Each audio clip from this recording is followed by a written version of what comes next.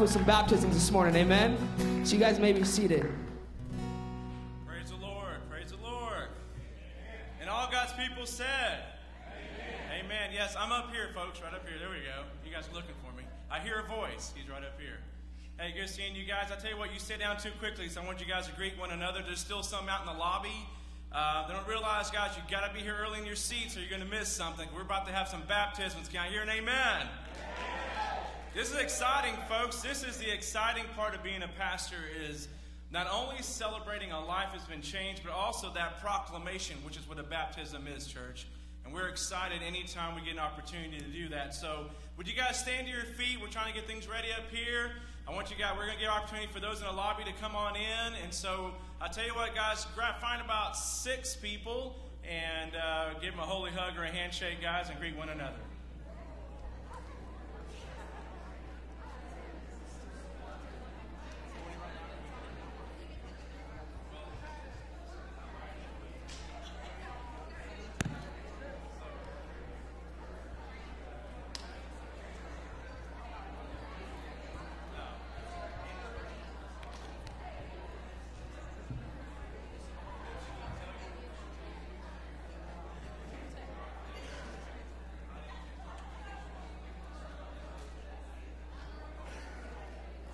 Yep, yep. Go this way. Same way you're facing them.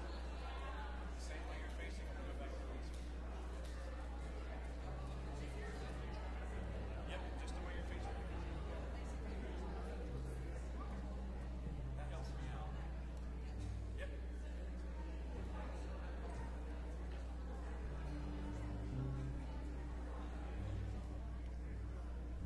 Amen. Amen.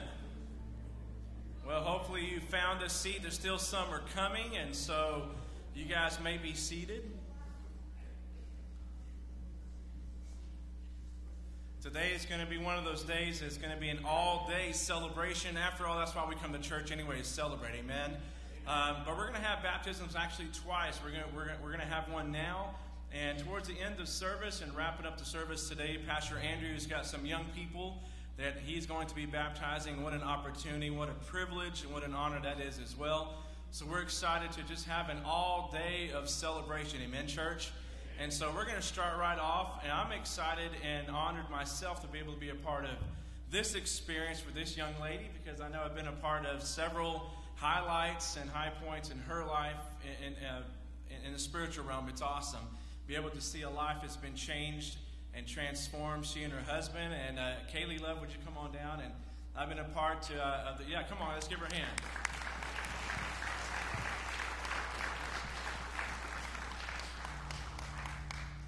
The water, I mean, baptism, sorry, literally take your breath away more than one way. And, uh, and so I'm really proud to be a part of this life. Like I said, we saw this couple, and I got to be a part of this couple's life in marriage.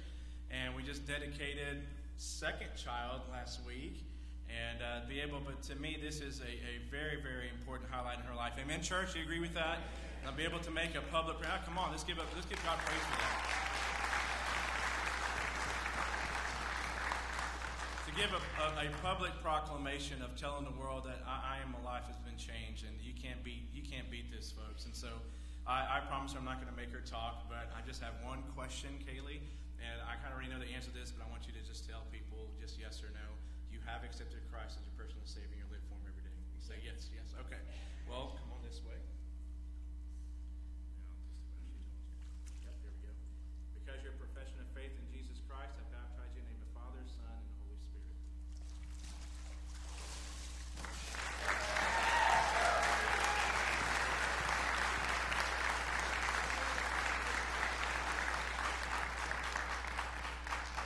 Amen. Let's stand to our feet today. I want us to open with a word of scripture this morning. Can we do that? Amen. You guys come expecting God to do some great things? Psalms 24 the, the earth is the Lord's and everything in it, the Lord and all who live in it.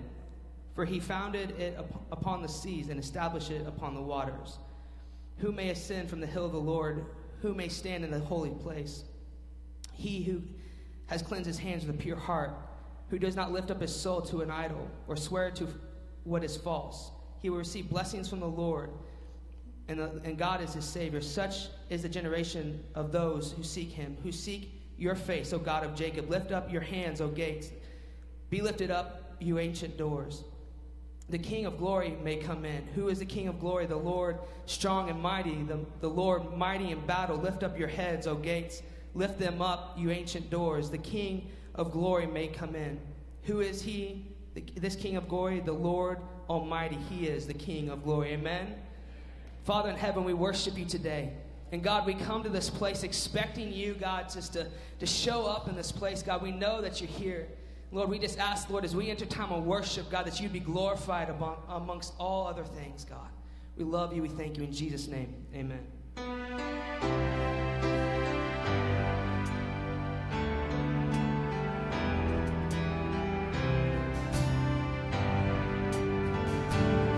Out. Bless the Lord. Bless the Lord, oh my soul. Oh, my soul. Worship his holy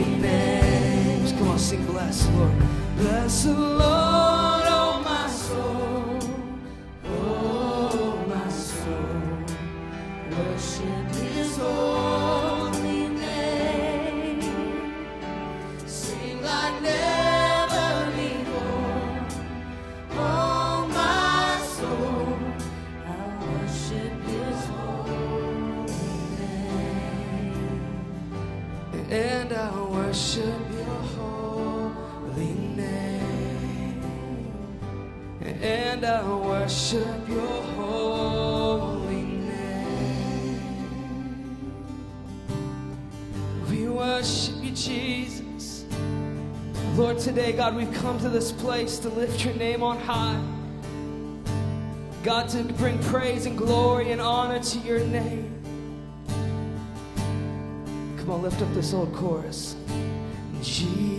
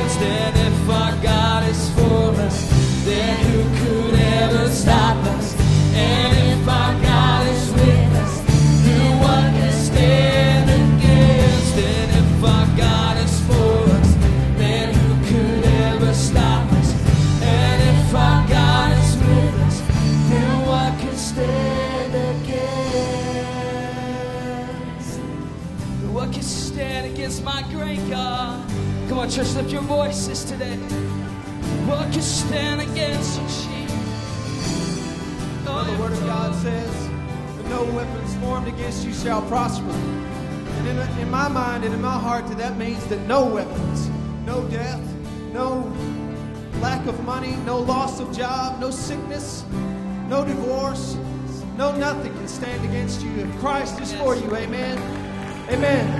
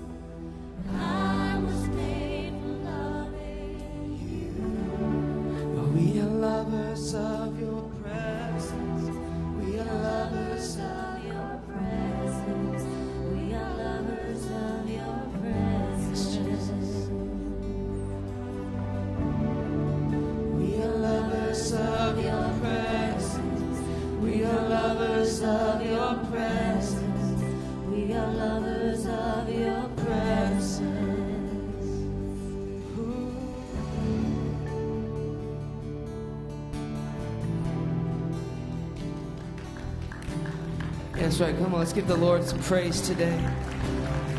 Come on, across this place, let's lift up our voices. We love lovers, Jesus, of you, God. Father, we worship you in this place, God. Lord, we give you the highest praise in this place, God. Father, we worship you, Jesus. God, we thank you, God, that we can come to this place and enter into the holies of holies. God, we don't just come to this place, God, to sing melodies and songs to you, God, but we come to enter into your presence. Because, God, when we enter in your presence, God, we leave changed, God. We leave never the same. And, Father, I ask, God, that as we, God, move on to the rest of the time of the service, Lord, that you would just, God, that you would speak to us. God, that you would speak to us so clearly, God. God, that you would keep this atmosphere of worship in this place. Come on, one more time. Sing, I'm a lover. I'm a lover of your presence. I'm a lover of your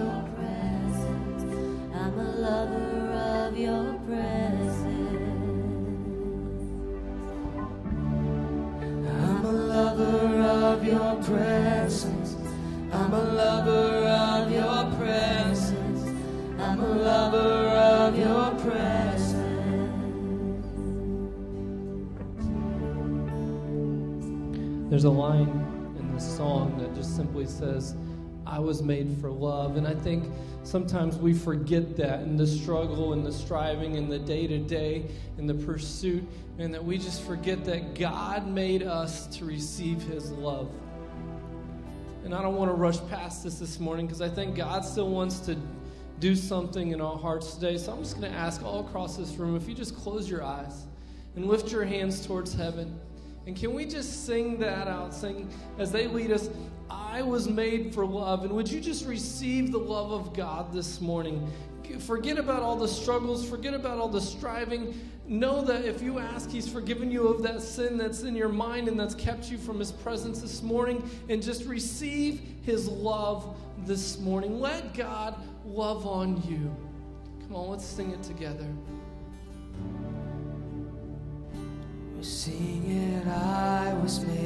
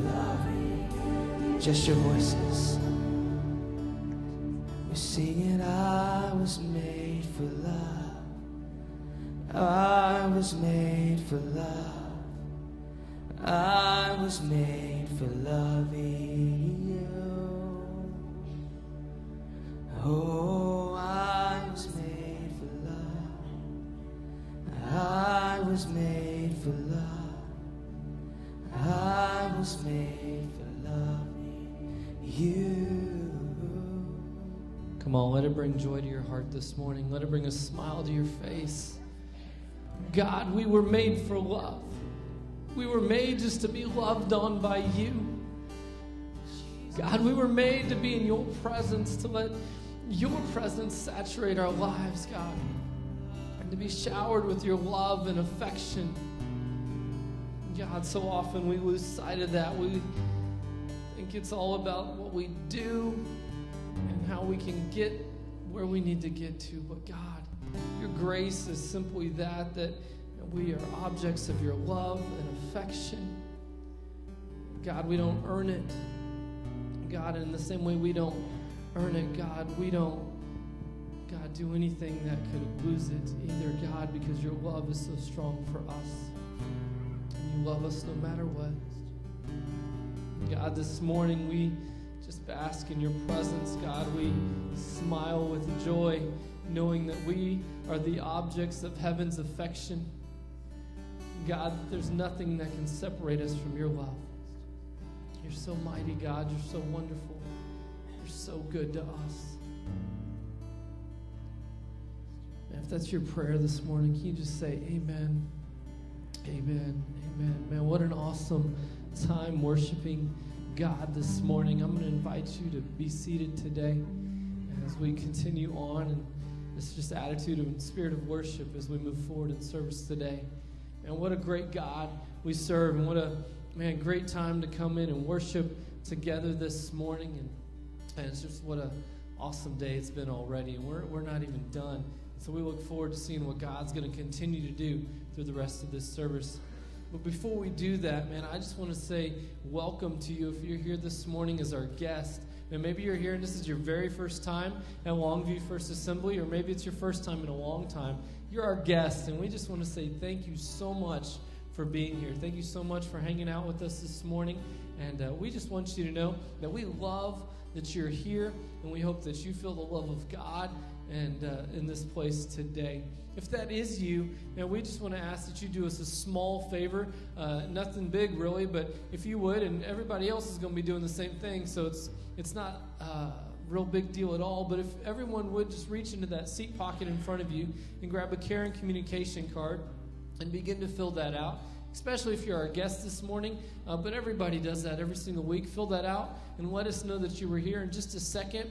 Uh, when you have that filled out, when the offering plate comes by, if you'll just simply drop that in the offering this morning. and let us know that you are here today. As you do that, you'll find there's some opportunities on there to, to ask some more uh, about the church or how you can get plugged in. Maybe any questions you have about Longview First Assembly or how we can serve you or your family. And feel free to write that in on there, and we'll get in touch with you and, uh, and let you know the answer to your questions on that. So thanks for doing that. Everybody else, and fill those out and continue to let us know how we can uh, worship with you and just praise God for what He's doing in your life and in your family, uh, but also how we can partner together as a staff with you in prayer. And we do that every single week and love the opportunity and privilege to do that.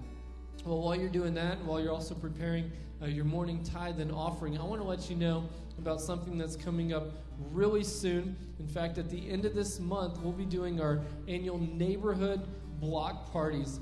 And some of you, man, you're like, sweet, cool, I'm ready to sign up. You can do that on your Caring Communication card right now. Just put NBP or neighborhood block parties or just block parties, whatever you feel like writing on there this morning. And that's how we'll know that you're signing up to volunteer for those. But some of you, you don't even really know what that is because you, you've never been a part of them. It's simply this man, on October 31st, our community comes out in mass. And they come out for one thing, it's called sugar. And uh, and the parents, man, they love it because they get the good stuff and the kids get the jawbreakers and all that. Uh, but our community comes out in search of candy, and so we like to meet our community. God has called us to make an impact in our community, to reach our community with the love of Jesus Christ. And so here's what we do on, October 31st at, at four different locations around our community, possibly five, at five different locations around our community. We're going to set up uh, a festival in people's front yards. And so we got the bounce houses and big light towers and lots of candy and games. And so as kids are coming through the neighborhood, man, they're, they're knocking on doors going, hey, can I have some Tootsie Rolls? And they're getting a few Tootsie Rolls. And they show up at this house, they're going, wow at just all the fun, all the stuff. And, and here's the cool part: as they walk onto that lawn, they walk onto that yard. There's loving people from Longview First Assembly. They're welcoming them, saying, "Hey, come play this game. Hey, here's a handful of candy. Hey, come do this." And just loving on these families in our community as they're coming. And and people always, always have this question: Why are y'all doing this? And we say, because we love you and because we uh, want to serve you and your family and it's so cool. It's so awesome. It's one of my favorite outreaches that we do all year long. And so uh, next week, man, we're going to have something for you, man, where you can just strategically partner with us for neighborhood block parties. But we wanted to let you know that they're coming up so that you can begin to plan. October 31st this year, it's on a Wednesday night.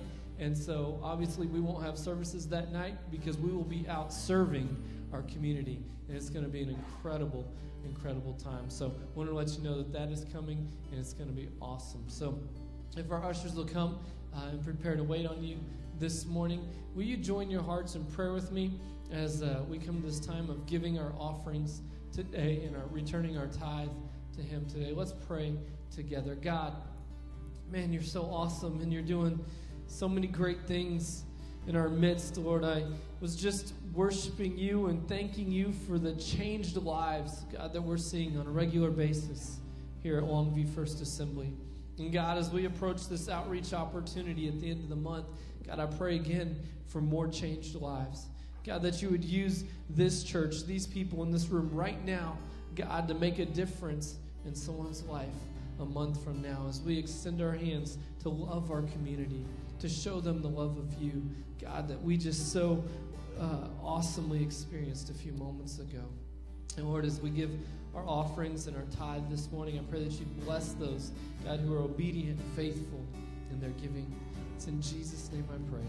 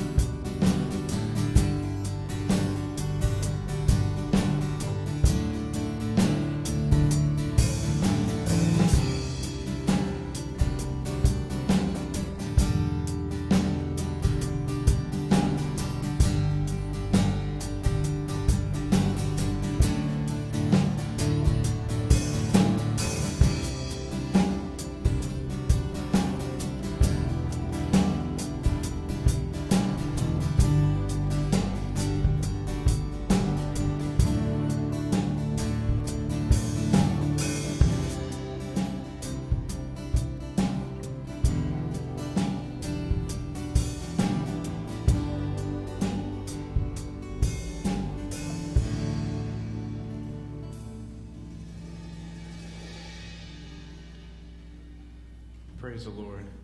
Can we give appreciation to our worship team and uh, what a great job they've done this morning? Very proud moment for me as a as a dad, not just a pastor, to see your daughter up there worshiping. Amen. God, I, I wouldn't trade that for the world. And uh, so it's kind of hard to worship, I guess, when you're staring at your little girl going, "Way to go, Gabby!" Uh, so I'm glad you guys worship. I was a little distracted, but I did I did get my worship in, and God gave gave God praise. But thank you guys for being here today. And, and uh, man, I'm just excited to be here, folks. Aren't you? Uh, I really am. I mean, what a beautiful weekend. And uh, you're saying it's rainy. That's exactly it. It's beautiful because God brought the rain. And uh, we absolutely needed it. And I just I really stood outside many times and just thank God. And, and I guess there's so much spiritual implications just seeing God just rain on us. And I just pray that through the Holy Spirit, He'll do the same for us here today. He has a word for us. And it's our job, I guess, to open up our hearts and our minds and receive the word that God has for us. I mean, you, you cannot, no excuses, and has nothing to do with the messenger. But the message in itself is powerful. Anytime we get to dig into God's word, folks, that's it's life changing if you allow it. Amen. Um, before we get into God's word, there's several items of business I do need to talk about. So I'll get to the message part of it uh, eventually.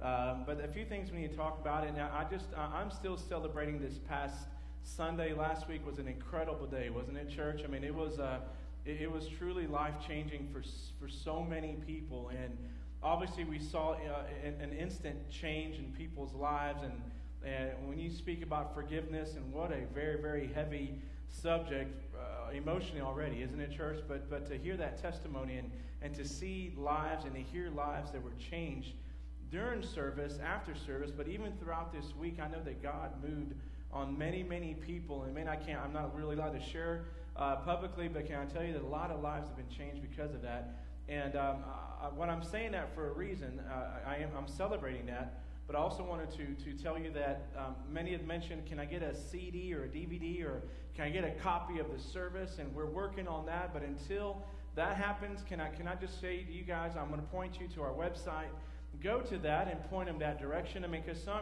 don't wait around for a DVD or, or a CD to come out and put it in your hands. I'm telling you right now, go straight to the website, point your friend or relative or whoever it is, because I've had I've had emails already come in saying, Pastor, I that blessed me, but I want to share that with so many people because I know there's somebody that need it. Amen, church?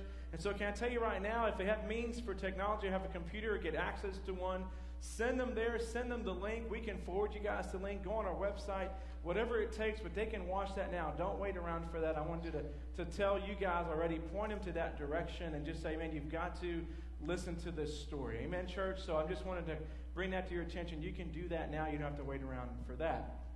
Um, Many other things too. Did you guys receive a bulletin? Hopefully you did. Can you guys get those and wave them in the air? So I know you guys have them lot of there's a wealth of information on those things. If you can flip that over really quick before you get to the notes, I want to draw your attention to a few things. I, I, I really don't like to do this because it feels like I'm giving you guys a commercial, but I, I want to talk about a few things, some opportunities that, that, that we have here within our fellowship. And I love this church. I don't get paid just to say that. I absolutely love this church. I love what, what we do. I love what we get to do. And anytime we get to engage our community, whether it be by an outreach or serving the community, I'm all about it, and I know many, many of you guys are too. Uh, a couple years ago, we did a thing called Be the Church. If you guys remember, we invaded Stanford Park and changed that park. And many guys who grew up in Longview said, Well, we haven't seen this park this nice in a long time. And we had a part in doing it. And I've driven by that park many times this last couple of years and just, just saying, Man, what a, what a great thing this was. What an opportunity we had. And so we as a church came together and serve the city of Longview. We have another opportunity this Saturday. Uh, this coming Saturday, October the 6th, we are partnering with the city of Longview. Again, it's already a set day. You might have seen signs throughout the city. If you drive around the city, you'll see little yard signs that talks about Longview Cleanup Day. And I called the city and told them uh, the same contact. I called uh, her and I said, listen, here we are. Here's Longview First Assembly. Do you remember me? I said, of course we do. We still talk about you guys. And I was like, well, we want to partner with you guys again. What can we do? And they are already excited because they saw what we did last time. They're like, man, you guys are ready to join us again? I was like, absolutely. So I just, I just told her, put us wherever you need us. But we, we are a church that just here to serve our city. You guys excited about that? Amen, guys? We get a chance to serve our city. That's awesome. If we're talking about love, if we're talking about loving one another, that's, that's a that's the best display of loving one another, not just here, but we get a chance to show the world and show this city that we love and value what they do and what the city represents, and we get to be a part of that. So I'm just telling you right now, we're going to meet at the city library at 8:30. They're providing even breakfast for us.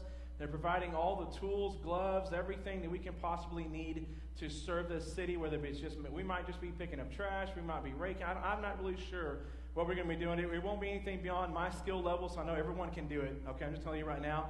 If I can do it, anybody can. So, um, but there might be some other things, some opportunities. If there's one, if there are specific projects, I'll email you or call some of you guys personally who are skilled in those areas. I'll let you know, hey, we need this or we need that, and you guys can come prepared with tools and your talents to serve this city. But I'm excited about the opportunity. So, guys, we're just going to meet out there. Instead of meeting here and, and busing everybody, we're just going to meet at the city library at 8.30. They'll give us directions. They'll give us our projects, give us the locations, and we'll hop in our cars and we'll go. It's a blue shirt event, so if you have your blue shirt still, some of you guys kept yours as a permanent resident in your house. That's okay if you guys have that. Wear your blue shirts or come by the office. We'll supply you with one. But it's so awesome to see a sea of blue of LFA, LFAers. Is that a word?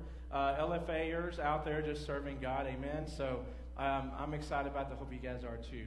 Along with your bulletin, something else, guys. I'm telling you, there's a lot I got to talk about. I'm sorry for you get to the message. But uh, Pastor's Appreciation Month is in October. That's normally a month we set aside, the, well, at least our nation sets aside for Pastor Appreciation. But we do something a little bit different here.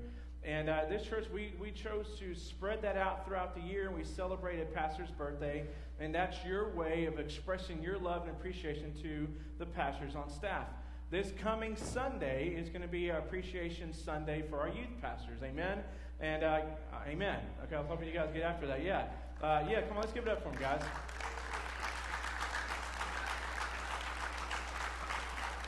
You don't want to miss next Sunday. It's going to be your opportunity to really get after it and bless our youth pastors and show your appreciation. Even if you don't have kids in the youth department, I, I guarantee you're, you're, gonna, you're, you're blessed by their ministry because they give so much. And the fact that they're uh, helping to, to, to bless our, our, our youth and our generation, folks, that's exciting, isn't it? And we want to be able to bless that. So you get an opportunity to do that next Sunday. It's Pastor Appreciation for the Burrs, for Andrew and Angela. And we're so thankful for that. So I'm just kind of letting you guys know what's going on there.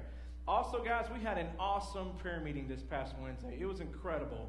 Um, far, I mean, I don't even know, I don't even know what expectations I had other than it exceeded whatever expectations I did have incredible time around this sanctuary. We literally filled the entire sanctuary up with just earnest, God inspired, God breathed, Holy Spirit and breathed prayer. It was awesome, folks. It was incredible.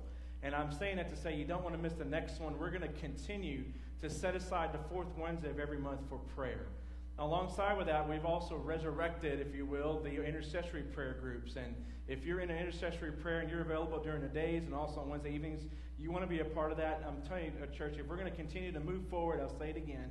If we're going to move forward as a church, forward as a church, we've got to pray. I don't know how else to, I don't know how else to say that. You can get all the preaching and sermons you want, the teachings you want from your favorite Sunday school teacher. That it, it, unless we are praying, that's for naught. I'm going to tell you that right now. If we're not going to pray as a church, then we're really not going anywhere. We're just spinning our wheels. And not, I'm not about spinning wheels. I know about you guys, but I'm not about that. I want to move forward and see this entire world be changed. And I want to say, God, use me. If I can be your hand extended, I want to get on my knees and pray for revival, pray for needs. Why am I saying that? Because I also want to celebrate. While we have some needs, some very powerful needs that are in our church, many, uh, like I said, so many are sick in body, and there's cancer reports left and right. But you know what? God's an overcoming God and we can overcome cancer even. And I know even some today uh, have received reports of cancer, but I know that God's going to heal. Uh, and He's in a healing business. The reason I'm saying that is because we have, I want to celebrate. Debbie, can you just raise your left hand because I know that's the hand. Yeah, there you go. Uh, yeah, that's awesome. I want to tell you why that's significant. I want to celebrate this because I know that tw- for 20 years now, she wasn't even able to do that. And I know that this past Tuesday at the Women's Fellowship, I don't know if you guys even know about that or not, uh, awesome, awesome ministry. If you're missing, I'm telling you, you don't want to miss that either. Uh, because healing's coming out of it. I mean, in a women's fellowship, she came out of it saying, I haven't been able, in, in all my years of cutting hair, I haven't been able to do it pain free and even worship. And she said, the first thing I did was worship my left hand. I said, well, that's all right. God loves left handers. Uh, and that's, that's incredible healing, guys. I'm telling you, so I celebrate that. Thank you for sharing that. And um, That's what it's all about, isn't it, folks? That's what it's all about. That's why we come together and say, God, we worship you, we praise you, we ask for things, and when God comes through and does it, we celebrate that.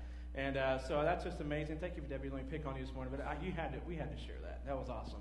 So, are you guys ready? Let's get into God's Word. Can you say amen? amen. Enough commercial time for Edgar. I, this is what I really like to do up here is be able to share God's Word. And we've been in the middle of a series, and this is the last installment last week of loving one another. I, I really have enjoyed this series. It's been challenging for me to be able to go through God's Word and just hear His Word, hear His Word personally in my life, and even challenge me in some areas that are very uncomfortable areas that I didn't want to be challenged by. To be honest with you, they got a little hot and sweaty type thing going. I don't want to hear this stuff. It's just, I don't want, God, don't challenge me. But He did. And, uh, and, and it's been a powerful, powerful series. And today we're going to do something that's not talked about a lot, be honest with you, and that's speaking the truth in love. You guys ready for that? Is, is speaking the truth in love. We're going to cover the, the what, the how, the why. We're going to talk about all that, and we're going to leave you with a practical word of even when you leave this place today, how to even practice speaking the truth in love. And, and it's not talked about a lot in church because it gets uncomfortable. Who wants to go out and do that? I'd rather just sit in my own bubble and worship God, do my thing, be a member of a church, and not have to say a word. But, folks, if we're really a loving, supernatural community, this is something that needs to be practiced. Can you say amen? And I'm telling you, today, some of you guys are going to be set free. I'm saying it already. I'm speaking that in faith. Some of you are going to be set free to actually put this into practice and see this supernatural community truly come to life. Can you say amen? So we're going to go ahead and get started. Your text today, we're going to go out of Romans chapter 15, verse 14. Romans 15, 14. And I'm going to be reading out of the New King James Version today, a little bit different version that I'm used to reading out of. I just like the wording in this, and uh, I, I, just think I think you're going to be blessed. Romans 15, 14, uh, whatever version you, you, you, choose to have, and if you have U YouVersion, you can look in your devices and follow right along. If you do have your bulletins, go back to your bulletins again. The other side of the commercial I just shared with you, there's some notes so you guys are able to follow along. Romans 15, 14 says, Now I myself am confident concerning you my brethren, that you are all full of goodness, filled with all knowledge, also to be able also to admonish one another. Let me read that again. Now I myself am confident concerning you, my brethren, that you also are full of goodness, filled with all knowledge, able also to admonish one another. Admonish is the word we're going to camp ourselves on here today. Let's pray. Father in heaven, thank you. Thank you for this church. I thank you for my friends. I thank you for this church family that's, that is and, and quickly became my family. I, I love them today, God. I expect the best, Lord God, and I know that's what you expect from us here today. Lord, I know it's, uh, it gets uncomfortable at times, Lord God, to speak the truth and love. And here today, I'm, proclaim, I'm procl- proclaiming the truth and love, and it gets uncomfortable. But Lord, it's, it's, it's the friction that causes us to grow, Lord, and that's what I'm praying for today. Lord, that that friction, Lord God, that, that uh, Lord, it, kind of, it might make us uncomfortable, Lord, but we need to hear it. We want to hear it. We desire your word today, God, and I pray this word would just pierce our hearts here today, God. Change the way we move, the way we breathe, the way we live. We want to leave this place today changed. Hallelujah. We ask this in your name. Everybody says, Amen, amen. Let me, have a, uh, let, let, me, let me start off with this question for you first is, do you have do you have that friend or the friend in your life that loves you enough, okay? They'll love you enough to tell you things about your life that no one else cared to say. Okay? You don't have to answer, don't raise your hand, don't point them out to me or anything like that. I just wanted you to kind of throw that question out there. Do you have that friend? I'm talking about that friend that'll love you enough, that'll tell you things that you need to hear, and maybe others cared not enough to really say to you. And, and that's that's the gist of where we're going with today because when we have a true supernatural loving community we we have a church that's full of admonishment. Can you guys say amen to that? And that's what we're going to be talking about is is admonishing. And, and there's four areas at least specifically for me these are the four areas that and the friends that i have and, and, and listen i do call them friends and they do come sometimes come to me with some very difficult issues and questions and, and, and my accountability they ask the tough questions, and now sometimes I'll hang up on them, but then I got to call them back. and say, I don't want, don't, he, how dare you ask me that question? But they have to. If they love me that much, they will. And here's the areas I've found that are very, very important as far as admonishing. There's relationships and character. In my case, it's ministry, but it could be ministry, career, job, however that fits in your, in your case, and also your giftedness your giftedness. And you have ones that will ask you the tough questions or, or talk to you, admonish you in these areas when it comes to these areas in your life. And so we're going to talk about first the what. And in your notes, if you have YouVersion, I've already give the definition for you. Maybe some of you guys, if it's not in your notes, you guys can write this down. But what is admonishing? And admonishing is this to exert influence upon another by life and word. Let's, let's say that first. To exert influence upon another by life and word. And what I mean by word is capital letters word. This is the word of God. Can you say amen? To guide him and her into obedience of God's will as scriptures, as revealed in scriptures. That's what it's about. That's what admonishing is. To exert influence upon another by life and word, to guide him or her into obedience of God's will as revealed in scriptures. So that's the what, the why. Why do we need to admonish one another? If I, I much rather be comfortable. This is something I really don't want to do. But really, God, God does want us to do this. If we're going to exist as a supernatural community, and we talked about that the first week of loving one another, is that's what church is, is a supernatural community with a common origin and a common agenda. And if we're going to flow in that and, and be an impact in this world, we need to ask the questions why. Why do I need to admonish one another? Here's four reasons. If you guys are with me, say amen. In your notes, you can write these down. Number one is it is a command. In your notes, it's a command. Colossians 3:16 says, "Let the word of Christ dwell in you richly as you teach and admonish one another with all wisdom, and as you sing psalms, hymns, and spiritual songs of gratitude in your hearts to God." First and foremost, we have to say, guys, it is a command. God wants us, needs us, commands us to admonish one another, to, to bring correction at times, to ask those tough questions, to have those tough conversations at times. He commands us to do that. Number two is we all have blind spots. You can write that in your notes. We all have blind spots. Psalms 19:12 says, "Who can discern his errors? Forgive my hidden faults." Here we have David even admitting a very, very tough subject, saying, listen, there's, there's even some areas in my life that maybe not necessarily secret because of me or anything. I'm meant to keep them a secret, but if we live life, and sometimes we live life and do life long enough, there's some things we forget. You know, I've slept since yesterday, obviously, and there's some things I've even forgot that happened this weekend. There's some things that happen in our life that might be hidden or secret, and we say, even David said, listen, even those things, God, will you reveal those things to me? Or maybe have someone bring those, those hidden secrets, those hidden sins out, and bring them to revelation so we can deal with them. Lord, that's, that's right. That's a tough prayer to say, isn't it, folks? I'm going to say, God, even go down to the depths of my soul, the depths of my heart, even those that are hidden that I might not even know about, remember, or even, eh, eh, even think, God, bring those to revelations. And, and you guys know the phrase, love is blind, right? I don't know if you guys, and don't raise any hands, or maybe you might be sitting next to somebody, and don't, don't point them out, but you ever had that in any friendships, those growing up? And I've had many, and even as a youth pastor, I've seen so many young people that are living this and going, gosh, do you not see what you're into? But I think that the, the, I guess the philosophy is love is blind, and when you're in the middle of something, there's a lot you don't see, right? You almost want to shake them, you know, adult shaking syndrome. You just want to shake them to you like, you, do you understand what you're in? I mean, you can see heartache like weeks or days down the road, and of course they're in the middle of a situation, and they're just like, "Nah, man, I'm totally in love. This is awesome." You're thinking you just don't see it, and it, and that's that's the same principle. Sometimes we're in the middle of that. We just there's some things we just don't see, and we say, God, even those hidden ones, maybe those things we refuse to see or just can't see, God, bring those to revelation. I want I, I need to deal with that. You guys with me? Say amen. We all have blind spots. We need somebody to bring those out. Number three, another reason why is so we can become godly, mature Christians. This is, this is where I'm getting to my favorite part.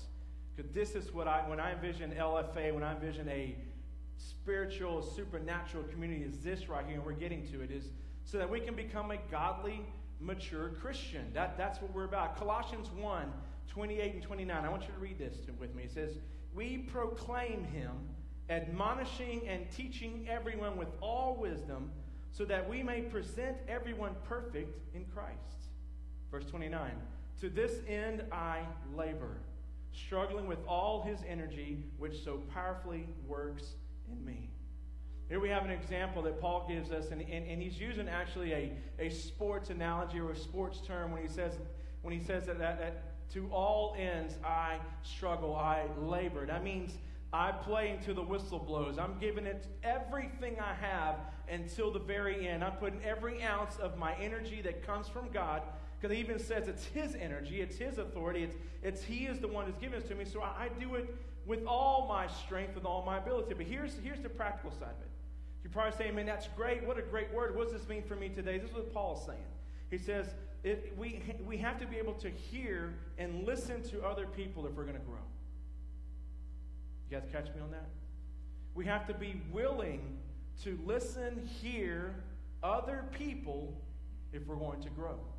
That right there qualifies the preachers, the teachers, the evangelists, the Sunday school teachers, those right there, automatically that qualifies those. And I'm not, I'm not here to, to stand in front of you saying I need qualification. That's not what I'm saying.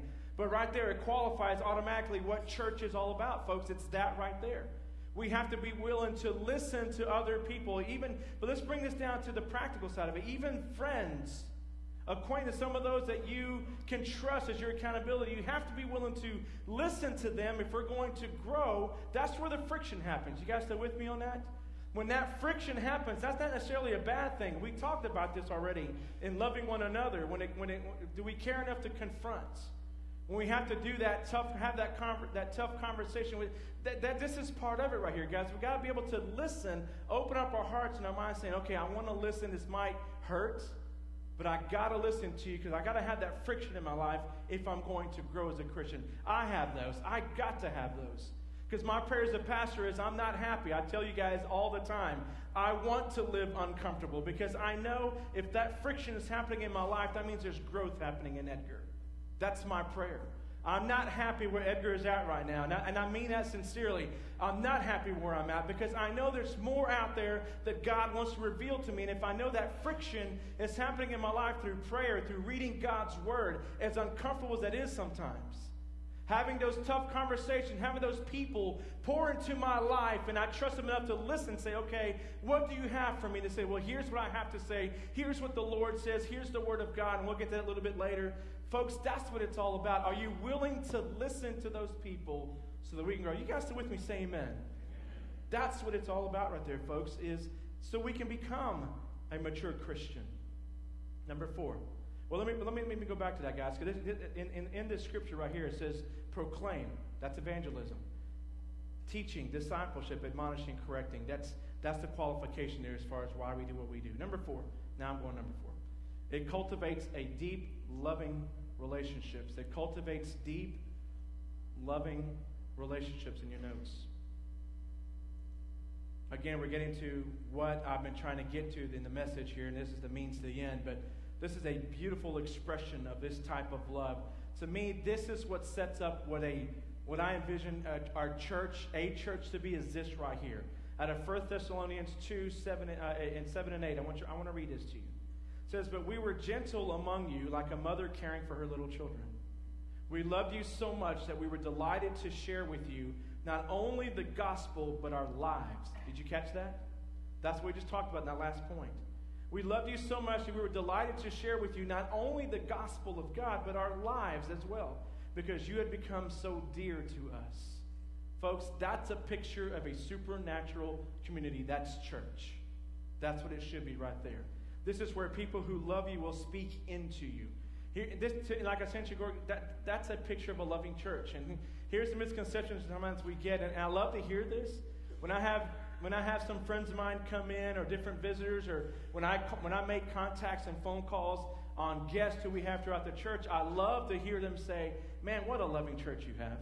What a friendly church you have! I, I must have been greeted and hugged uh, or, or, just looked at or had my handshake at least 15 times. That's great, isn't it, church? Can we say that's an awesome thing? We are a loving, friendly church. That's great.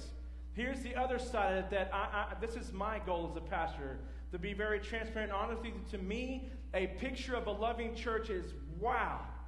Those people really love each other that much that they're willing to speak life into each other. Hello? That's the goal I have as a pastor.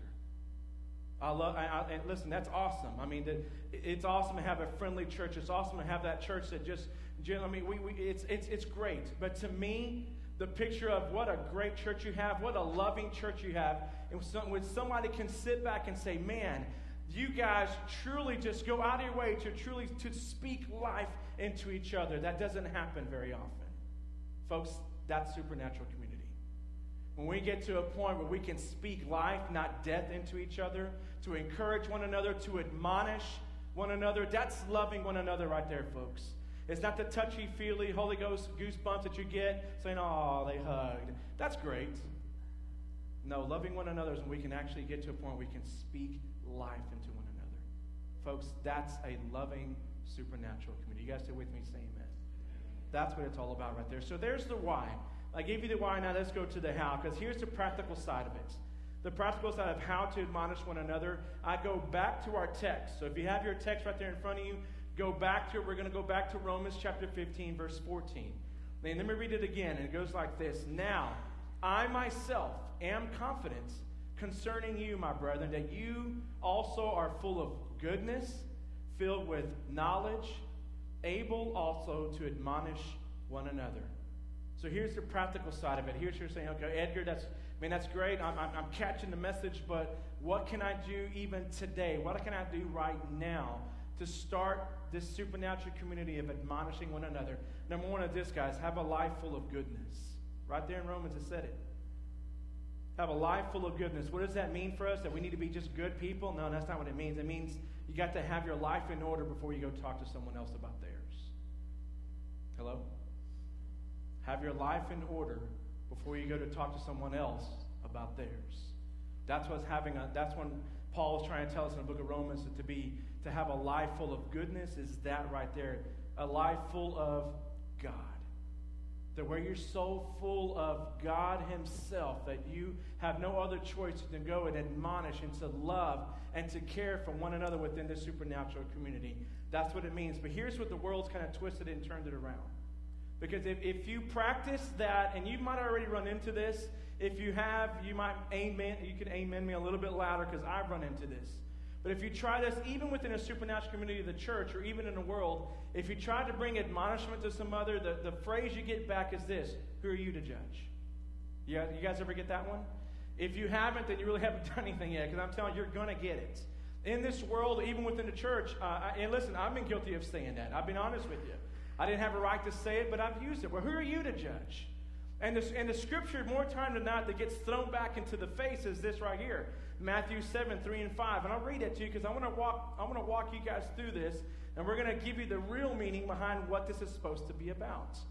This is admonishing right here. Matthew 7, 3 and 5, and I start with verse 3. It says, Why do you look at the speck of sawdust in your brother's eye and pay no attention to the plank in your own eye? You guys still with me on that? We've seen that before. What about that log? What about that big piece of wood in yours? Before you come to me, get that thing out of your eye. You guys ever seen that? That's the who are you to judge? You guys ever? I'm sure you heard it. Well, that's what that's saying right there. Verse 4 How can you say to your brother, Let me take the speck out of your eye, when all the time there's a plank in your own eye? So, what is that saying right there? Is listen, get your life straight, brother, sister. Get your life straight. That's what it's saying. But here's the other side of that. Here's the world will stop there and saying, Did you know the Bible? You go to church is saying you got to get the junk, you got to get your junk before you go to mine. But here's the other part, guys. No one ever finishes the other side of that scripture verse. Because there's more to it. Here's the other side of it. And then verse 5 it says, You hypocrite. First take the plank out of your own eye. Okay, we established that. Here's the other side of that. Then you will see clearly to remove the speck from your brother's eye. That's the other side of it we fail and the world fails to talk about. See, Matthew, when Matthew was writing this, he was writing this with the assumption that we are going to do both. We're going to take the big log out of our eye, we're going to take that out. But at the same time, Matthew's saying, listen, I'm under your assumption if you do that, you've got to finish the job. You have to go to your brothers and take that speck out. It says, then you must, then you will. You guys sit with me, say amen. That's the other side of it, folks. I know it's getting, it's getting uncomfortable because the gospel's saying that means I have to. If we're going to finish, if we're going to get our lives straight, there's a reason for it because we can come to somebody or go to somebody and say, listen, here's the situation, here's, here's the gospel, here's the word, here's what's going on. I know because I just lived this myself. See the folks, here's a victory in that church. I just went through this. I just experienced this. God just changed my life. Let me tell you why. Let me tell you the how. Let me, let me just share with you exactly because I've just been through it. That's what Matthew envisioned when he wrote that. In the process of taking that log out of your eyes, what Matthew is saying, listen, then you will, then you must, you have to go to your brother and take the speck out. That's the other side of it. The directive is still there, guys. You, you still with me, church? Number two, have a life filled with knowledge.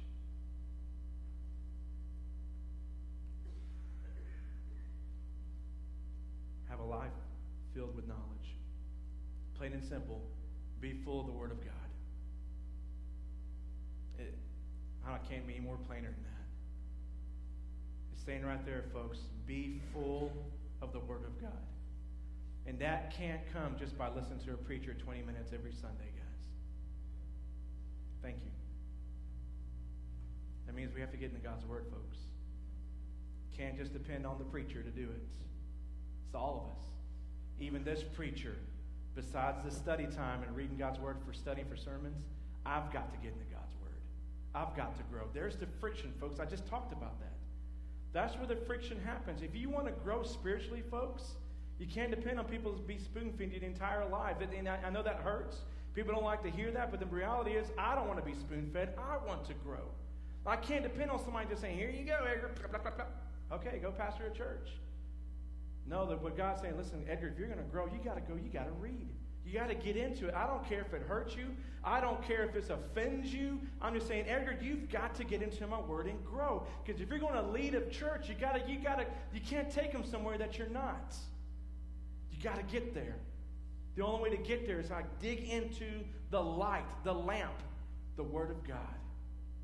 Folks, that's where it's at right there. So listen, if you're going to go and take that speck out, don't go with just assumptions. Don't go just with opinions. Go with concrete word of God. Guys, are you still with me? That's where it's at right there. This is as practical as it gets here today, church. Have a, have a life filled with knowledge. And here's, here's the saying I just said a while ago don't share your opinion. Don't share your opinions on Scripture because that's, that's not the correct way of doing it. If you're going to do, if you're going to, if we're going to practice admonishing one another, don't go with opinions. Dig into the Word of God. What is God's Word truly saying at this time? Let me. You know how you do that? Share the absolutes of Scripture. That's how you do it. Share the absolutes of Scripture because I'm telling you, the Word of God is the absolute Word of God. Folks, are you still with me today? That's when you share the Word of God, not opinion. You're sharing the absolutes of Scripture. That's what it's all about. Can I get even more practical with you guys? If you have your pen, write these things down. I got some, let me give you some examples. Very clear, black and white. About salvation. If you want a true blue, actual, here's a concrete, uh, this is the why, why salvation. Acts 20 and 21. Here you go, Acts 20, 21. I have declared to both Jews and Greeks that they must turn to God in repentance and have faith in our Lord Jesus Christ. Do you see any other way to interpret that? That means everybody, folks, we all have sinned. We all fallen short of the glory of God, which means we all have to come to repentance in order to enter heaven. That's sin right there. It's addressing the issue of sin. And we're not scared to use that word here in this church. That's exactly what he's talking about. There's your concrete, absolute in Scripture salvation. Boom, there you go. So if you ever want to share with somebody, guys, share the absolutes. Next, false doctrine. I won't have time to read all these to you, but I'll just give you the references. If you want to talk to somebody, absolutes in Scripture when it comes to false doctrine and false teaching today, and I promise you, folks, it's going to happen. It's only going to get worse these next few weeks and few months. That soon. Yes, that soon. You want to share with somebody about that and dig in the word yourself? Go to 2 Timothy chapter 4. 2 Timothy chapter 4. Jot these things. I mean, go to these and do the research, guys, a little bit later. I wish I had time to read these and really get into this. But these are absolutes. More, if you want to talk about disunity in personal relationships, Philippians 4. Philippians 4, if you want to talk about, and some of you might have to have these conversations. I'm trying to give you guys some practical information here today because these are things that are hitting our, us as a church, us as a community, us as people. These are real life issues. Can you say amen? And I'm giving you now some scriptures so that when you have these, I'm speaking in faith, when you have these conversations, when you admonish one another, you'll know what to talk about. You have scriptures, you have the research. Next, if you want to talk to somebody about immoral behavior, you can go to 1 Corinthians chapter 5. That's a tough conversation that needs to be said. Can you say amen? Another one, how to relate to the opposite sex both before and after marriage. 1 Corinthians 7. 1 Corinthians 7.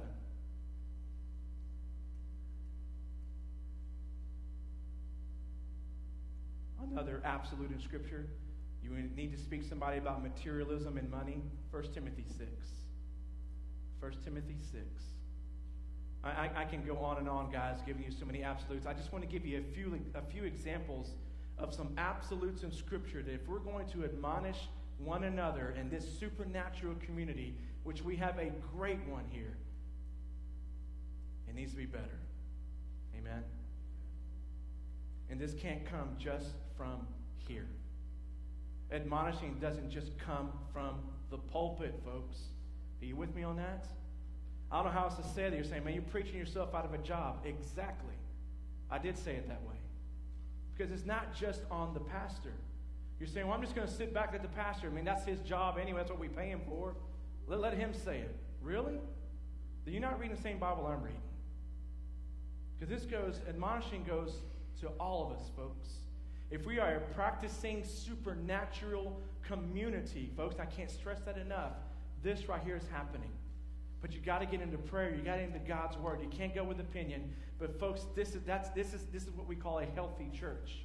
An unhealthy church is those churches, and, and listen, a healthy church has nothing to do with sizes. Because I can tell you right now, some mega churches right now, they're not healthy. And I don't care if they're running 10,000 people. It's not healthy. 400, 500, 1,000. Just a church, just because they're large guys doesn't make them healthy. A healthy church is a church that is a practicing and, and a, life giving, supernatural community where people are, yes, they love each other, they're friendly, but we love each other so much, guys, that we're willing to admonish one another in love. That's loving one another, folks. I'm telling you, this is not preached enough because it's not popular. This is how you grow churches. Listen, I mean, listen, I, I promise you, I've got friends of mine think I'm crazy for sharing this. Man, you sure not going to grow your church that way? Good luck. I'm like, I'm not about growing crowds, man. I'm all about growing a community of believers that are going to be there. They're going to make an impact in the world, a very positive impact that loves one another. Folks, that's what it's all about. We're going to grow. No doubt about it. We're going to continue to grow. We're going to do it through the Word of God. We're going to do it through absolutes of Scripture. Not going to water it down. Not going to get all popular. Not going to make you feel all good inside. If you feel good inside, that's great. Man, I love you. But, folks, it takes friction if we're going to grow. I want to pastor a church that's supernaturally growing not just in numbers, but you guys are maturing in the Word of God. That's what it's all about. Folks, you still with me? That's not popular preaching, but I don't, I, I, don't, I don't care. I don't how to say that. I love you guys that much. When I say I love you that much, I sincerely mean I'm looking all you on your little bitty eyeballs there. Some of you guys, I can't see the whites of them because, okay, there you, you can wake up now. Just joking. I love you guys that much. So much so, this is admonishing. It's preaching the truth. Because I know that I have to live that myself. I want you guys to be able to be proud of a pastor who is growing himself, experiencing that friction himself, that comes out of a session of reading God's word going, golly, my back hurts because, man, I just got beat up. I want you guys to know that. That's to me supernatural community. Church, I really do love you. That's what it is. And I'll close with this. Uh, baptismal candidates, if you guys want to make your, your way up to where you need to be, our worship team's about to move out of their seats as well. If you're here today and maybe you thought about being baptized, can I throw that in really quick? It's not too late.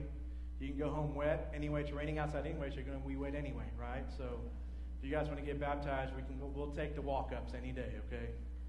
Let me close with one more point, guys. This is it right here. I want you all eyes up here. I know some are moving. We got a lot of action going on. All eyes up here really quick, guys. This is where this I'm going to close with this. The third how, as far as how can you admonish one another, number one is what, guys? Have a life full of what? Goodness. So first of all, have a life full of goodness. That means you got to be full of God. Have hey, love God so much to where you are consumed by the Holy Spirit, consumed by God Himself. Do you have no other choice but to love people? Amen, church? So have a life full of goodness. Number two is this have a life filled with knowledge. Get so full of the Word of God. And how do you do that, guys? Get in the Word of God yourself. Get in the Word of God yourself. Get disciple. Get into Sunday school. Get into small groups. Get in those groups where the friction's happening and the Word of God is happening and you're being sharpened. Amen, church? That's what it's all about. Number three, and I close with this one right here, guys, is have a heart filled with love. Have a heart filled with love. I chose this point as the last one because if you're going to do all that and we're going to admonish one another, it has to be done through love. Because, see, someone can hear what I just said right now, and you're going to think, I'm just going to totally just, I'm going to go, boy, I got somebody in mind right now. I need to go admonish right now. That's not what it's about. That's not love, folks. The world's got other words for that. We just call it, that's just plain mean, all right? There's other churches full of that already. I don't, I, we ain't about that, okay? That's not, that's not admonishing. Every time you seek the Word of God, guys, every time you can go through, you can go through all the Pauline epistles, you can go through the Gospels, and every time, even in Matthew, I just read it. Every time when you see admonishment happen, guys, it's happening through love. Amen, church? That's where it's all about right there. Will you stand your feet with me today?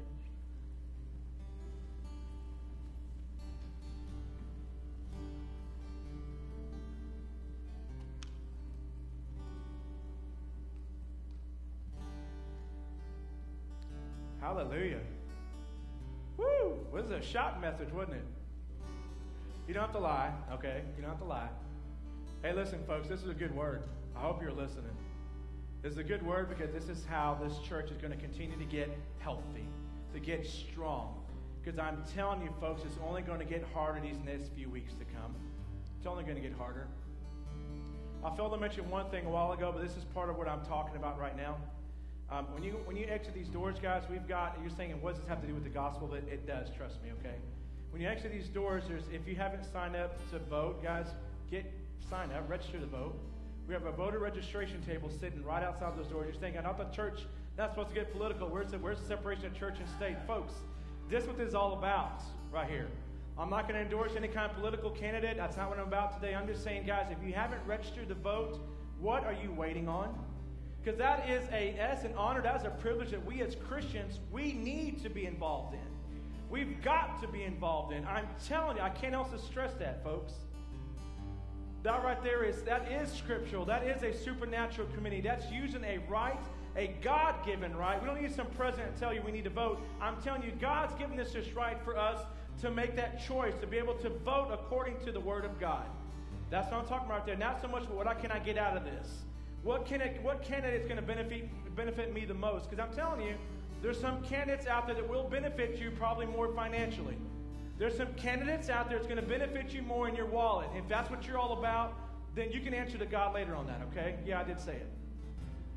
Because to me, guys, it's all about voting the Word of God. If you want to know who I back, there's my, I'm going to back it right there. I will say that publicly. I, I, I try to, I, I don't try, I do. Try to find those candidates that line up the most with the Word of God. That's just it. You wonder who I voted for? There you go. I'm going to do it again this coming election. The reason I'm stressing that because we've only got six more days, and that's it. You got until October the 6th, next Saturday, and you can't register anymore this year. You've, let, you've lost out. You've missed out to have a voice. And folks, this church, the church needs to wake up and have a voice. The church has to. Amen, church?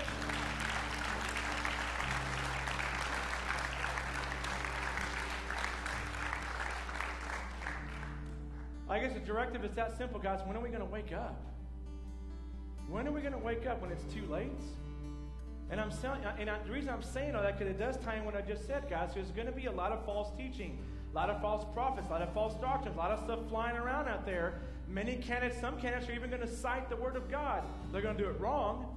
But if you're not full of the goodness, God, and if you're not full of knowledge, the Word, you're going to get sucked right into it. Every time. That's why I tell people don't depend on the 25 minutes you get from your pastor because you'll be sunk. I can't give it all to you in, in 25, 30 minutes. It, it's impossible.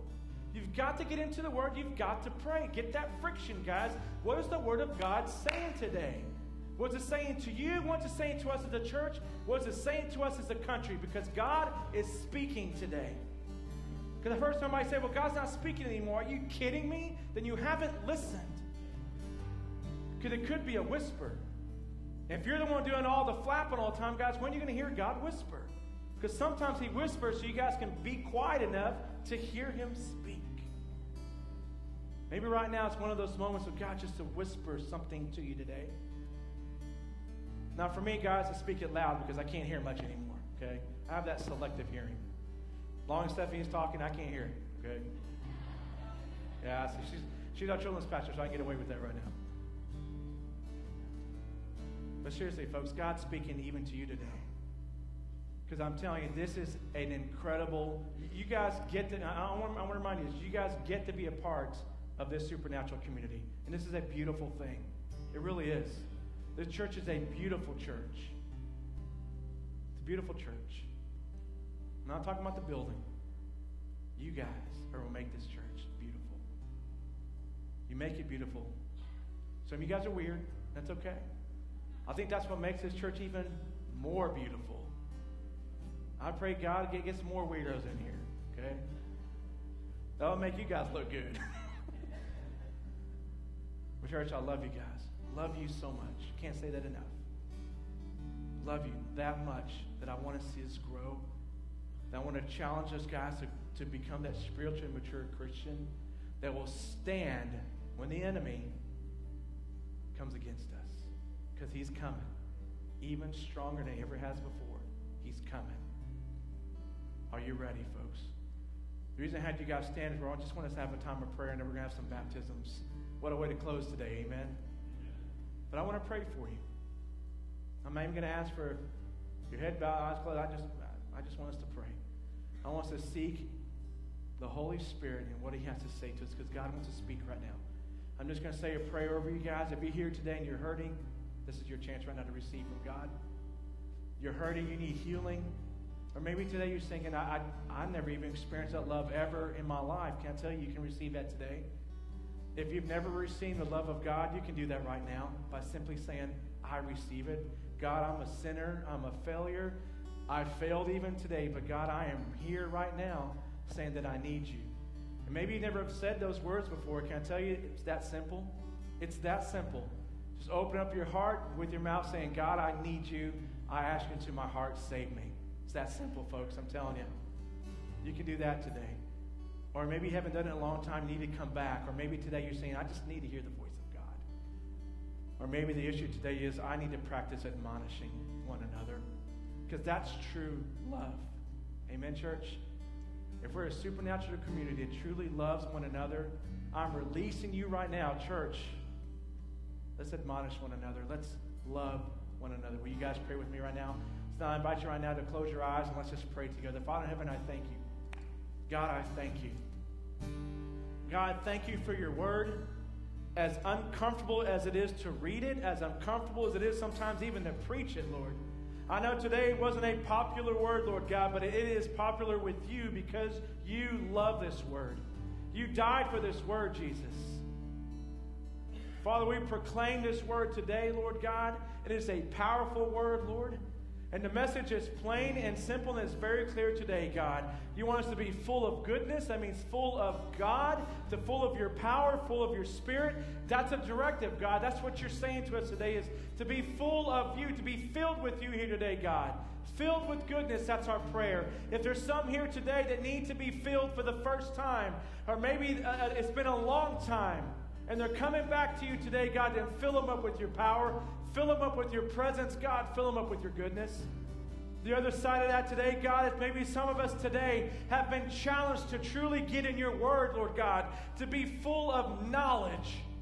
Not just from what we get from our Sunday school teachers or our pastors or evangelists or teachers. God, that's not what it's about. We've got to get into your word, God. We've got, in, we've got to get into your word. And so, Father, maybe today the challenge is I'm going to read more. I'm going to study more. What is God's word speaking to me today? God, that's the message for me today. And thirdly, God, maybe today is, guys, we just need to be filled with love so that we can extend love to people. Today, God, I say, love through me. Don't just love me, love through me. I want to be an extension of your love today, God. That's our prayer today. So, Father, thank you. Thank you for today. Thank you for your power. Thank you for an incredible time around this word today. Let it change our life so we can change the world. We ask this in your name. And everybody says, Amen, amen. You guys don't leave. We see we've only got four baptized. It's going to be awesome. What a way to celebrate. You guys may be seated. We've got some young people that are going to be baptized, and wow, they're all in the tank. All right. We're going to have, uh, we, it's a group baptism here, guys. So we're going to, um, um, Andrew, take it away, bro, and uh, we'll close this way.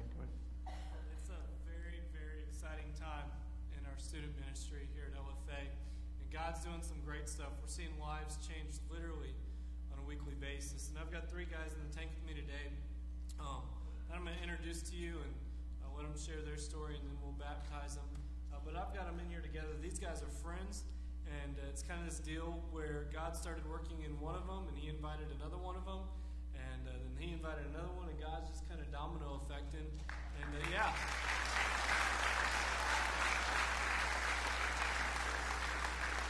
So I thought it'd be fitting to have us all here uh, together as, uh, as we share this first guy I'm going to baptize today. His name's Donald, and uh, I've asked Donald just to share briefly about what God's been doing in his life. Um, I wasn't on the right path and I wasn't doing good. I came to church just to hang out with my friends. And then I got talked into going to church camp. I didn't want to go. And then I liked it actually. I got saved. And ever since then, I've been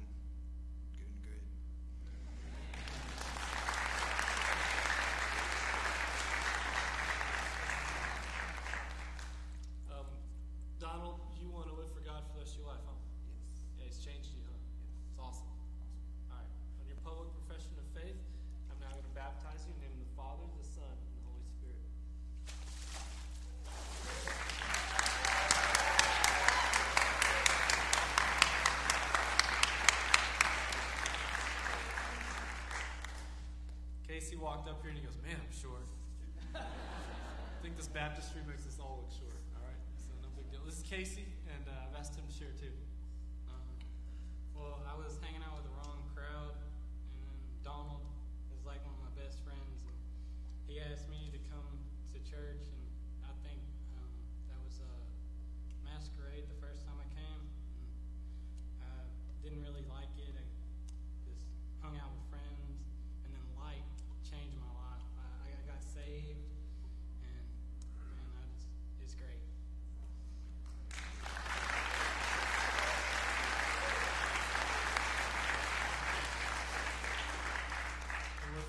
rest of your life? Yeah. It's changed you, man, huh? Yeah. It's a pretty cool feeling, isn't it? Mhm. All right. I'm going to baptize you now in the name of the Father, the Son, and the Holy Spirit.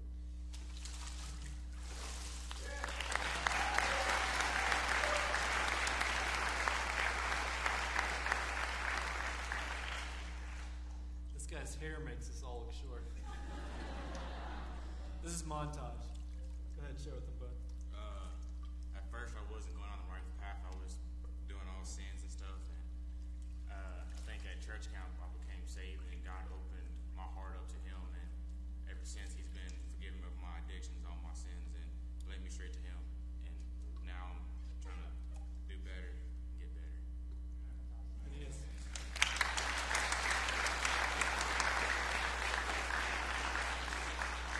Jesus saved you. You live with live for Him for the rest of your life. Yes. Awesome. I'm going to baptize you in the name of the Father, the Son, and the Holy Spirit.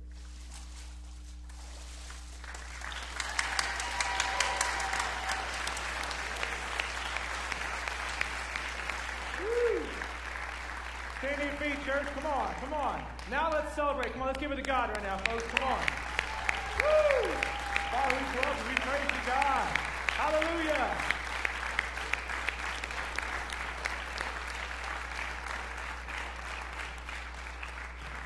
A supernatural community church is to get excited about a changed life. Amen, church? That's what it's all about. It's hard to contain emotions up here. This is incredible. I like seeing people proclaiming that. Kaylee, congratulations to our Baptist. Thanks, thank you guys for sharing your life with us. Amen, church. May you guys go this, go bless, go encourage. Go full of the knowledge and goodness of God to change this world. Amen, church? We'll see you guys next week. Love you guys.